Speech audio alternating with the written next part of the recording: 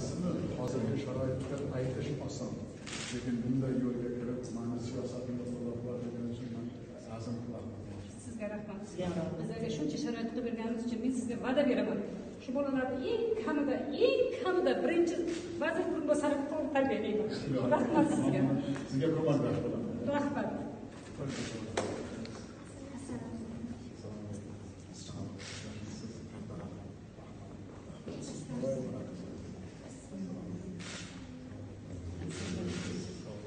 rahmat sizga katta rahmat judayam juda keldi bu hozirgi sharoitda bu hamma tushuna olmaydi buni juda katta shu ma'naviyati bor ma'rifati bor kim ekanligimizni o'zligimizni yana bir marta hammaga dominasi